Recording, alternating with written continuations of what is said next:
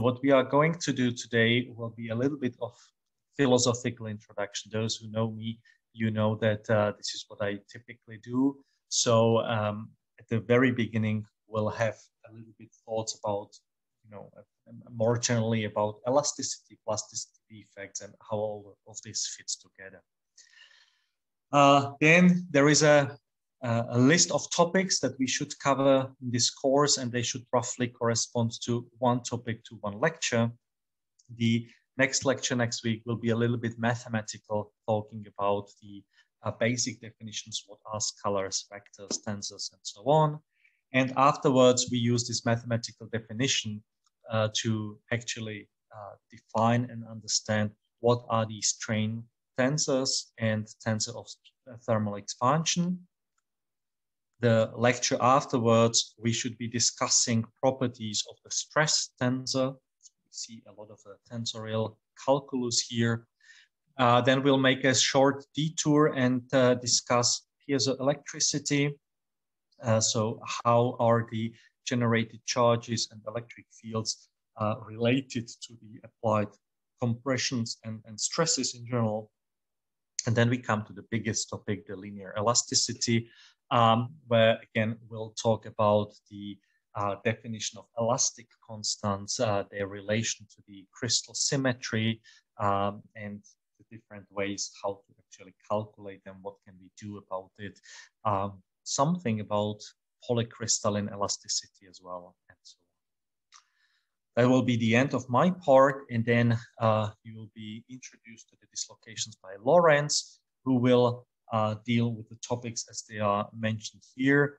Um, these are the chapter names from last year, so I hope that they will remain similar to this uh, after generally talking about dislocations, what they are.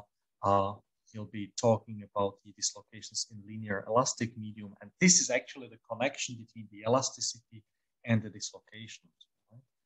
Uh, we again come to this point a little bit later today. Then he'll be uh, talking about the relationship between the crystalline structure and dislocations. And then he would move to uh, a little bit more engineering uh, description, what is of course needed for all of us doing material science. And uh, he'll be talking about the continuum description of how dislocations move and how they are generated.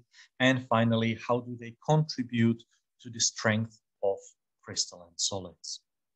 And at the very end should come again one more session with me. We'll, we'll be talking about the relationships between the um, epitaxial uh, thin films, whether misfit dislocations at the interface relaxing some uh, lattice mismatch are convenient or not, what are their properties, again, how are they generated and what they do at all. So this is the plan for this term. And let me then dive directly into the introduction.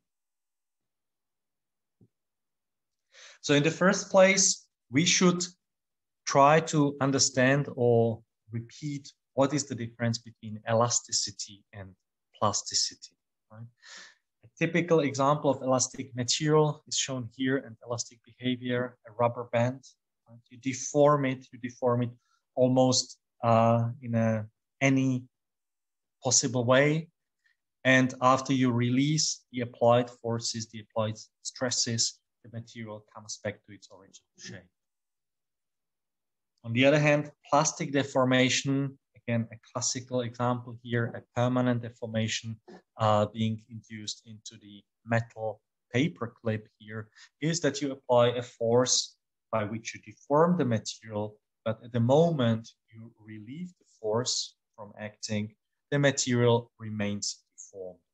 That means the deformation that we induce by application of the force, of the stress, this uh, deformation remains permanent.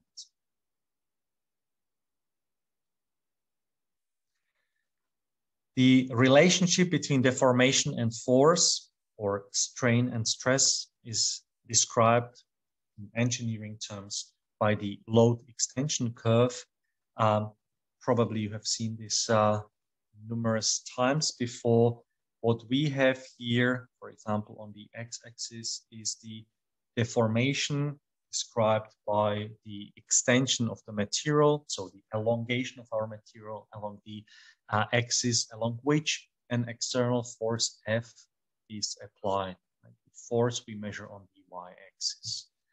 And so for each deformation, we then get force. We simply measure these forces up to a certain point.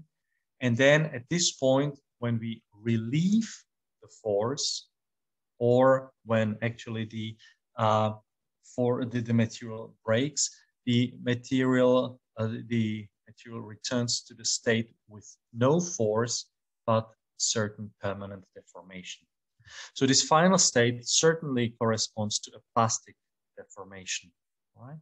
Where are we in the uh, elastic regime? Well, elastic regime is hard to say where we are uh, from, from this graph, right?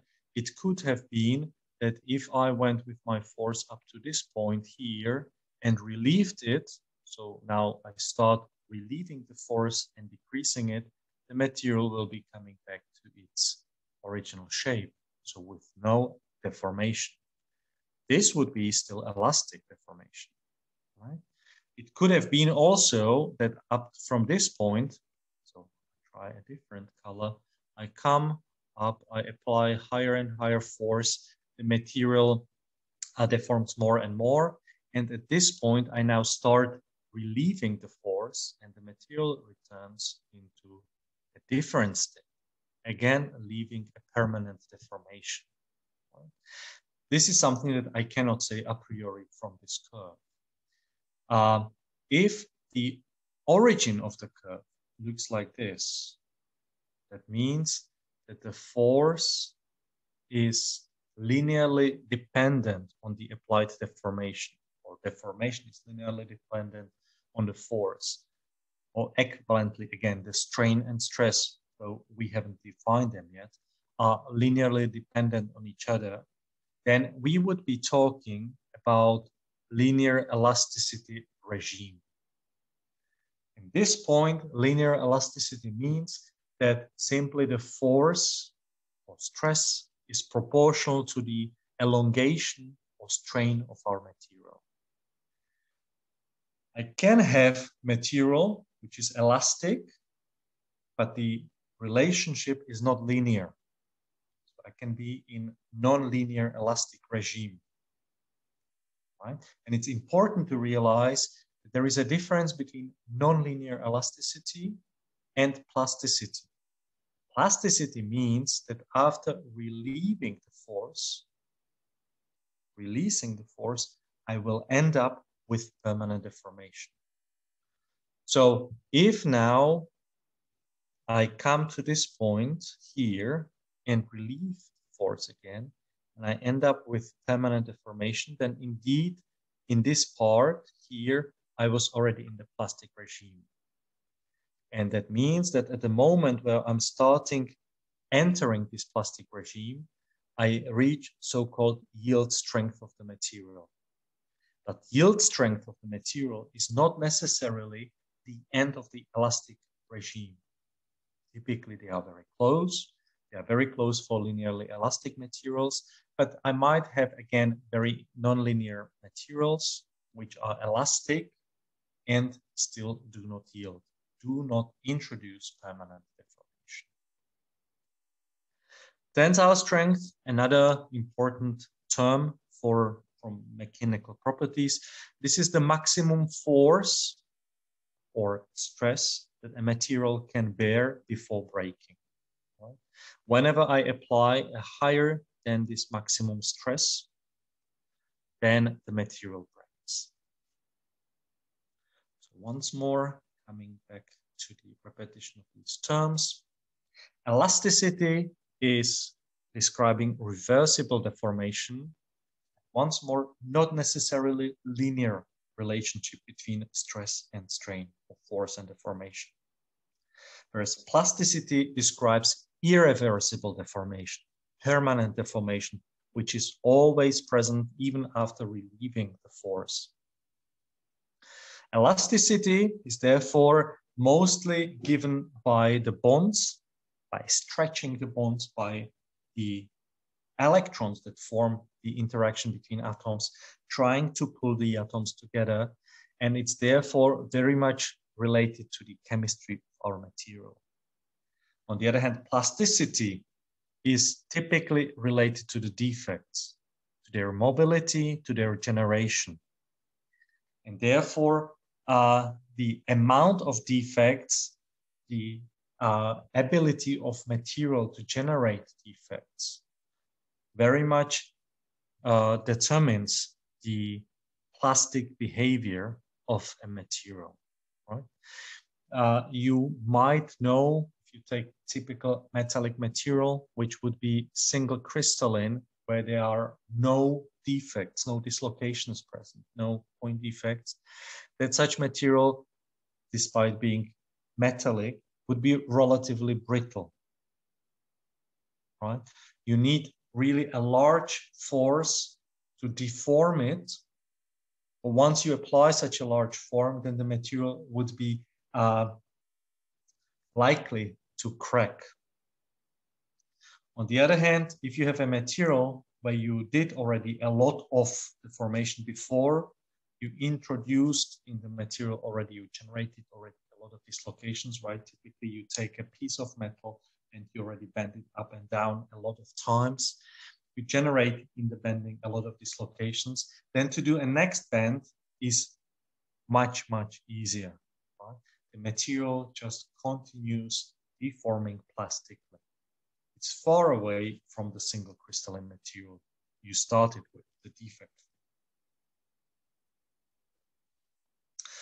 I do have here a short movie, but instead of uh, instead of watching it here together, I propose that maybe you have a look at this uh, your own on the YouTube.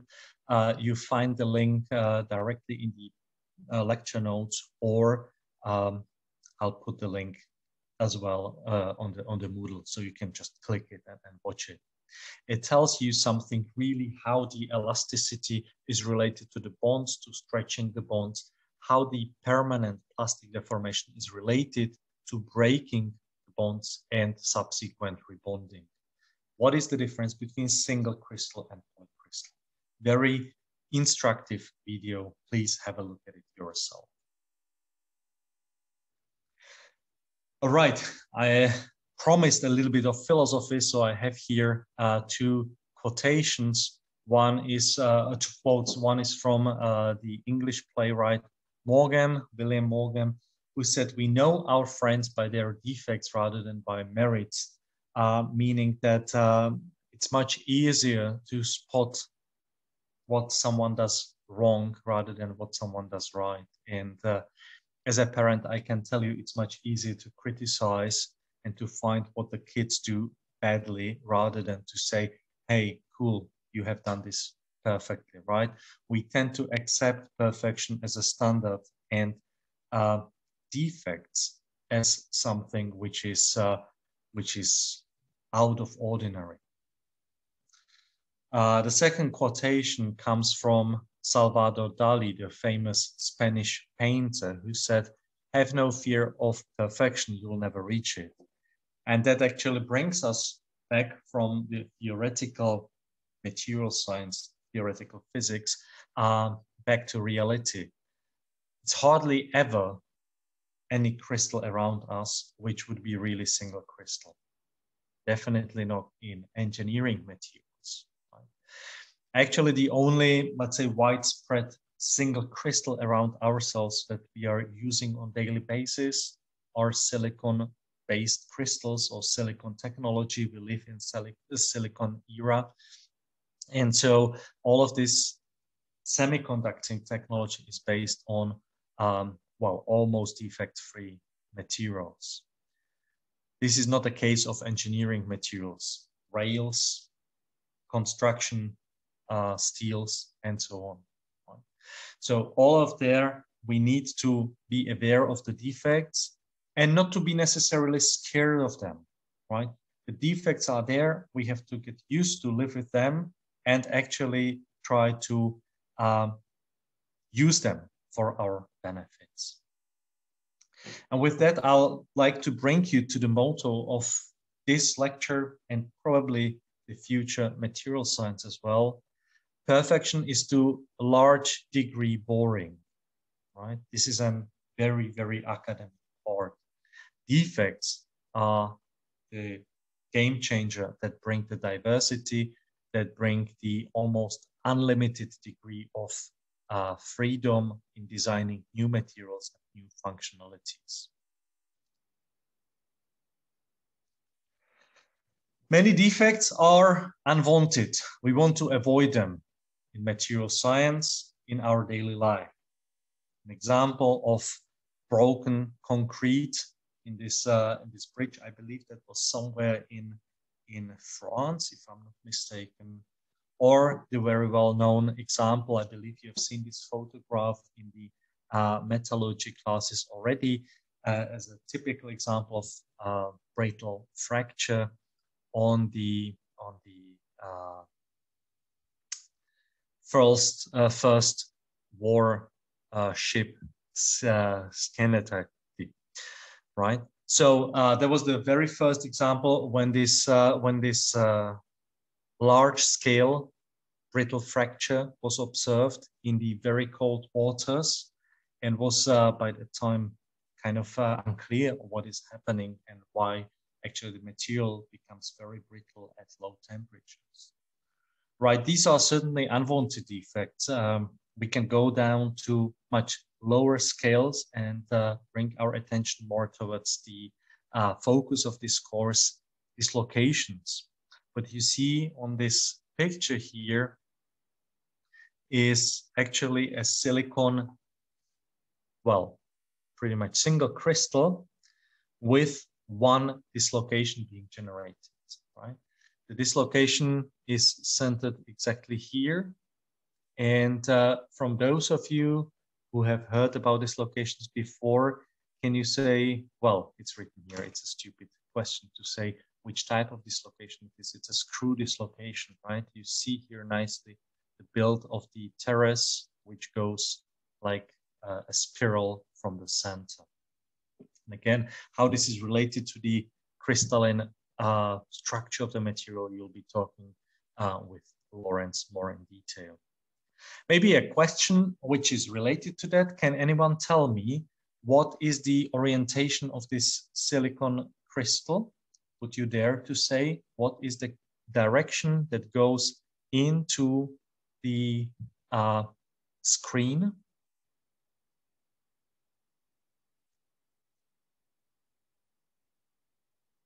Miller indices of this direction? Anyone? No. One, one, one. One, one, one. Bingo. Right. Even the answer no is fair enough. Okay. As uh, no, nothing, nothing bad to to uh, say. I don't know. I don't have any results. I don't have any answer. I don't know. But one, one, one is the correct answer. Can you say why is it one one one direction? because it's um, from an energy point uh, the, the the the lowest level, something like that. Mm -hmm, mm -hmm. Um, would you be able to say that based on what you see on this picture here?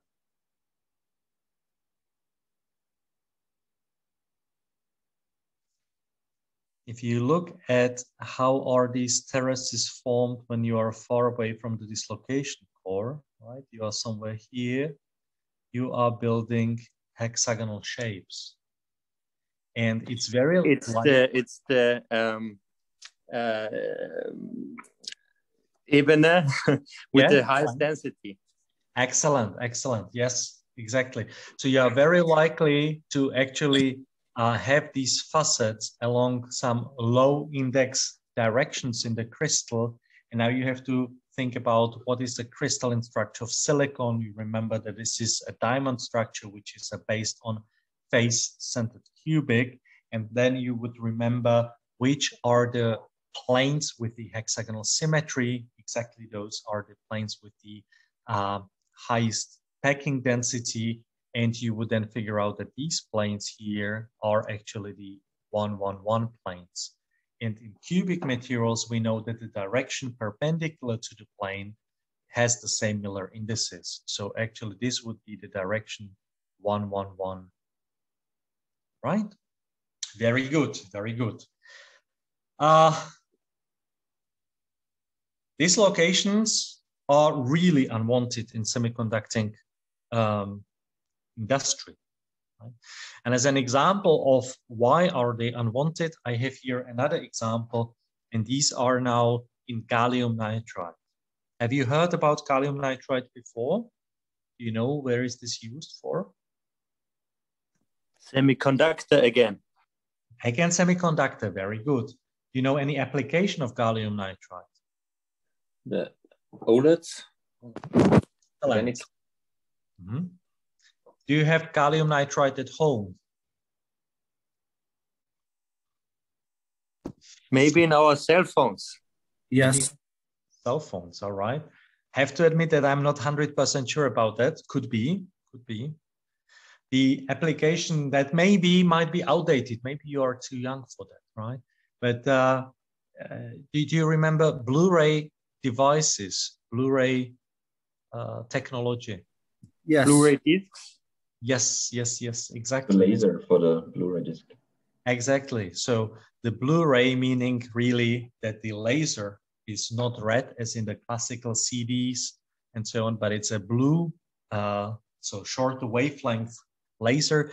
This is all made possible because of gallium nitride, right? So it's a semiconductor with very wide band gap, much, much wider than silicon. And as a consequence of that, it allowed for this short wavelength technology. All right. And so Is it a direct or indirect uh, semiconductor? I think direct. gallium nitride is a direct semiconductor, yes. Mhm. Mhm. And there would be people even saying that it's not a semiconductor, right? That the band gap is so large. Well, here it's around 3.6 electron volts, but it's often alloyed with aluminium and then leading to over five EVs. And many people would say that this is already an insulator. It's really, really large band gap semiconductor. Now, what you see on the picture here the left bottom corner is gallium nitride, where on the right-hand side, you see a network of blue stri uh, sorry, black stripes and black dots. Now, these black stripes and dots, or lines and dots, are dislocations, right? Line defects. That's why they are lines. Uh, some of them are points because the dislocations are then perpendicular to the plane of observation. On what you see on the left-hand part of this image here is a cathodoluminescence image. So you really probe the image and you try to emit light out of it. And then you see these black spots. These black spots, they are where there is no light emitted, no visible light emitted. And it was shown that these points, these areas, are closely related to the presence of dislocations. So what you actually say is that the dislocations kill or quench the luminescence. Simply the presence of these defects kills the functionality of this material. You know, you want the gallium nitride to shine the short wavelength light if you have the defect there, it kills it. And similar way, the dislocations in semiconductor would, would act as a conducting highways for the charges and would essentially kill the semiconducting behavior of silicon. Right? So this is the, these are all examples of unwanted defects. But not all defects are unwanted necessarily.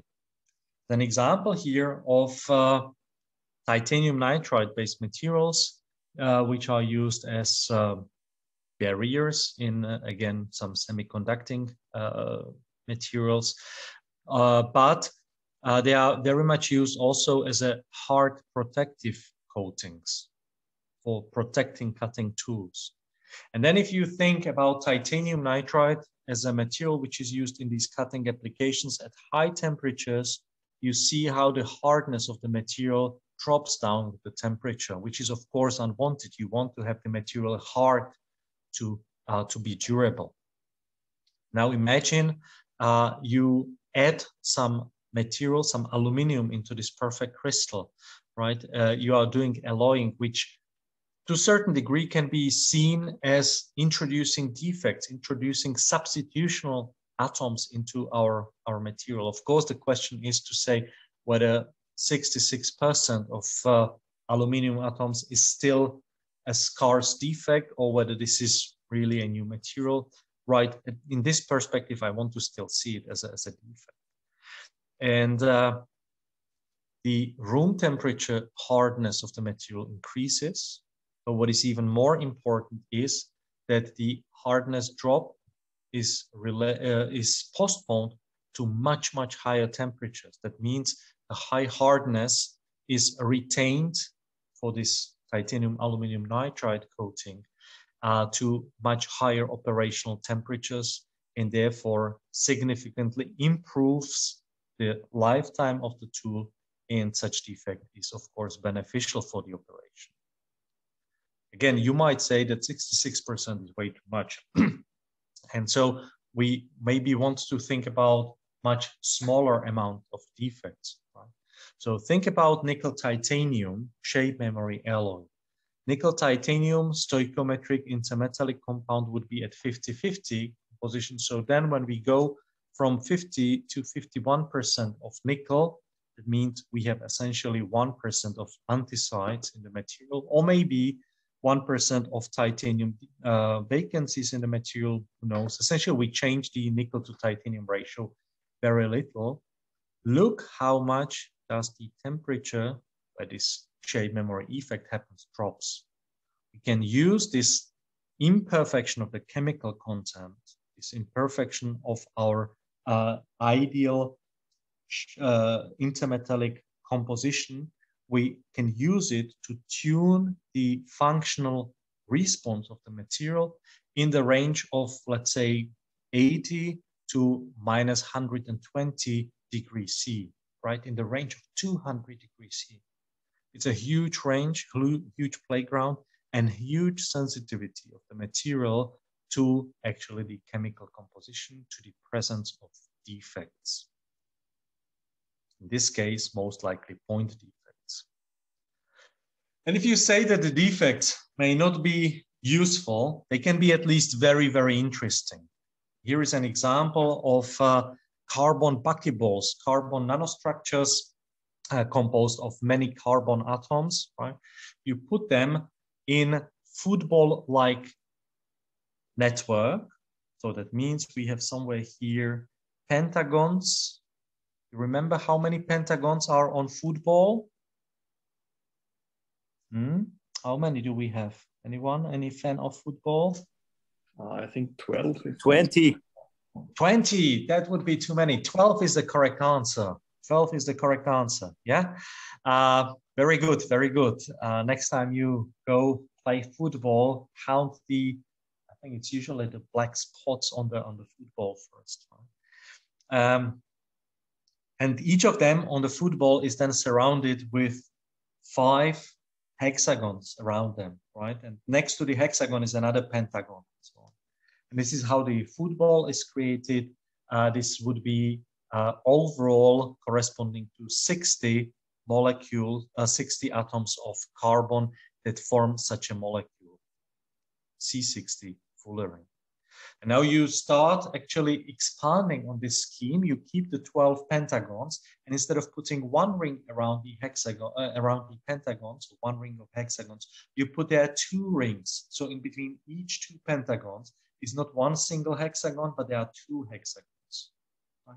And you keep doing this, and eventually from really nicely spherical football, which is the C60 molecule, you come to larger and larger and larger molecules, and they would start becoming faceted, like you see here, right? This is really faceted here, and at each of these apexes, you have the pentagon. Fair enough. This is the theoretical prediction. This is the shape of the molecule you, you expect. And you go to the experiment, and you observe such fullerene, and hmm, what's this? It's almost nicely spherical, right? unlike the material that we have predicted. And then you start thinking what might be happening here, and you realize that these observations are done using electron microscope. That means you bombard your material with electrons. And the electrons are sometimes causing damage to your material as well. It's really like shooting projectiles on your material. And eventually they would lead to kicking out some carbon atoms. And most likely those carbon atoms, which are uh, the most, um, the, the, the most, let's say, uh, defected ones or close to the defected uh, areas, right? Those which are most energetically expensive. What is the ground state of carbon? Ground state of carbon is graphene, right? Diamond, but graphene is another, uh, let's say, low energy lying structure, which are sheets of hexagons. So actually the hexagonal network, the honeycomb network, is something which is a natural structure of carbon. Very good. But that means that if we kick out those atoms which are near to the pentagons, we make holes there, the whole material actually is probably relieving its energy. So we end up with just a network with hexagons as it wants to be. Uh, carbons want to be sp2, hybridized sp2 bonded. But then if you look at such material, even in the simulations, the final shape is not anymore faceted, but it's nicely spherical as here shown in the middle, right? So then the defects can be, well, at least interesting from this point of view that they can completely shape, uh, change shape of your material, response of your material, and can lead uh, to actually explaining the discrepancy between theory and experiment. Interactive session shoot at me some defects that you see in here. What do you see? How can you name them in this crystalline material? There is an interstitial atom. Interstitial atom. What's the color of interstitial atom? Uh, it's the, the red one at the lower left side. Very good. Interstitial atom. Anything else? Vacancy. Yeah. I said vacancy, and it's pretty much in the middle of the. Yes. There we have a vacancy. Very good. Yes. Anything else? A substitu- substitution. Uh. Yeah, very good. Substitutional atom here. Anything else? Is this one a substitutional atom as well?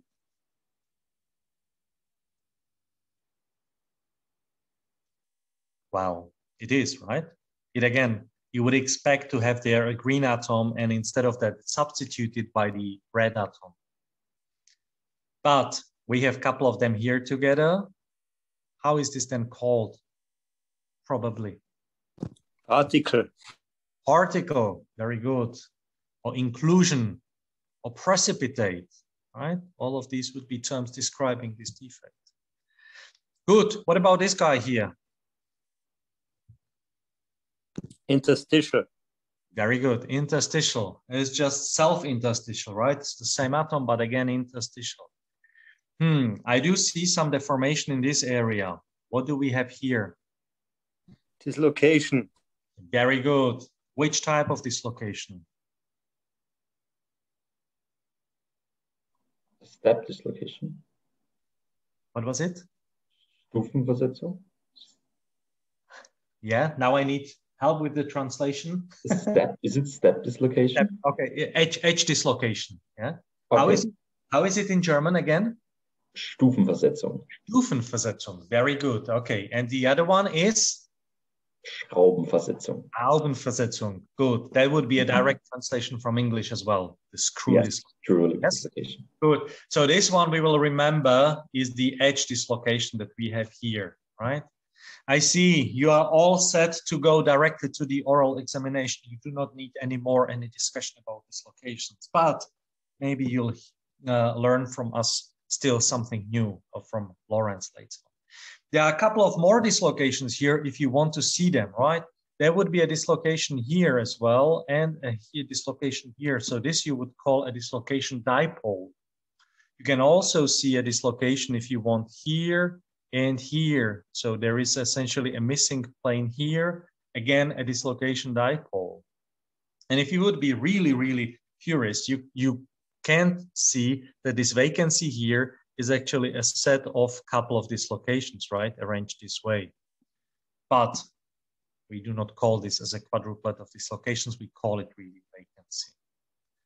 I'm not sure whether we managed to find all of them, but probably we did all or most of them, right?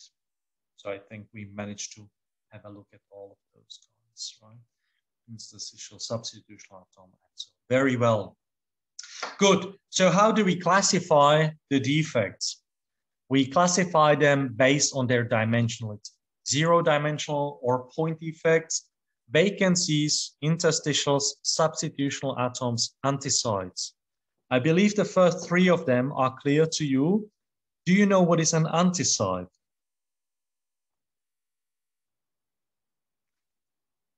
It's uh, when you have an ordered binary system. Can you think about any ordered binary phase?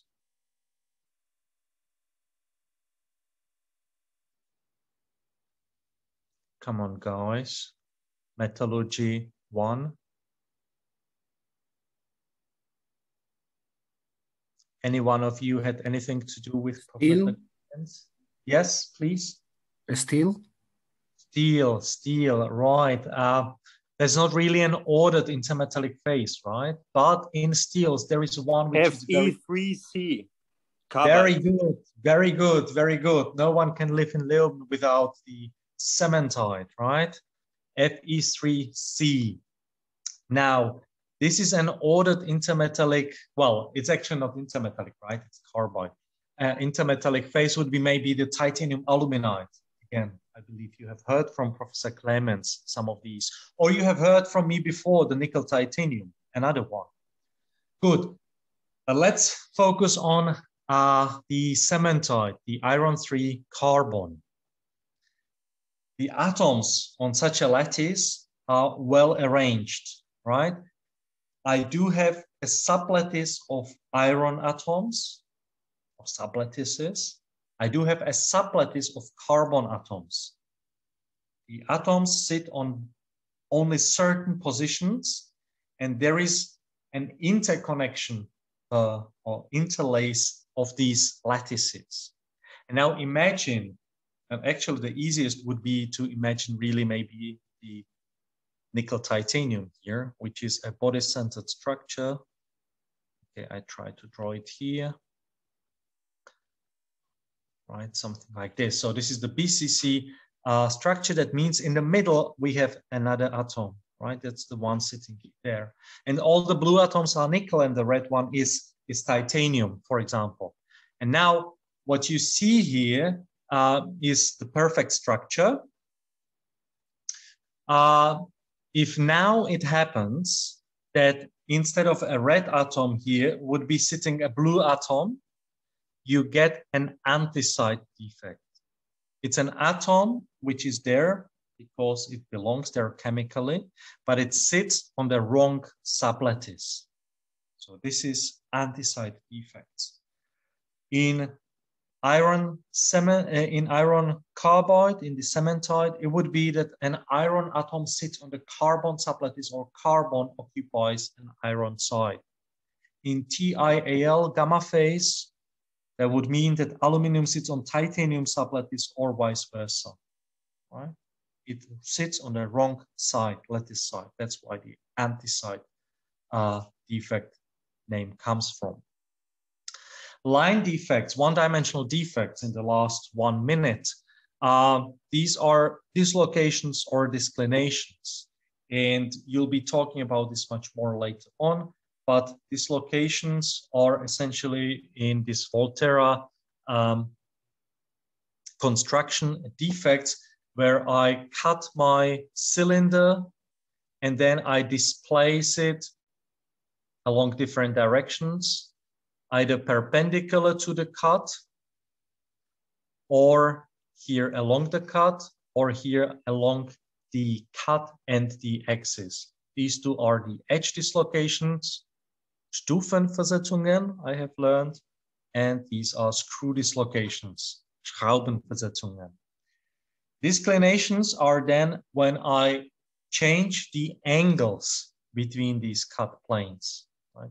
This is hard to imagine what this would mean in perfect single crystalline materials. This is not con uh, contained there, but disclinations might be, for example, appearing in, uh, in carbon nanotubes. Right?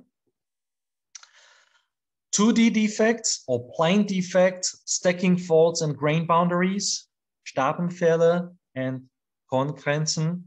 I believe, again, both of these you have uh, heard many times before, and they are actually not the topic of this lecture. And 3D or volumetric defects, precipitates, voids, or to some degree cracks as well, if you want to see it as a, as a really volumetric uh, part where the material is missing. And that brings me to the final note for today. Um, Excuse me. yes. A question. Uh, there exist uh, defects dependent on the time by resonant structures? Yeah. They yeah. exist? The question is whether they exist. Yes. Right. So actually, the defects that we talk about here would be mostly really permanent defects. So their lifetime is, is infinite.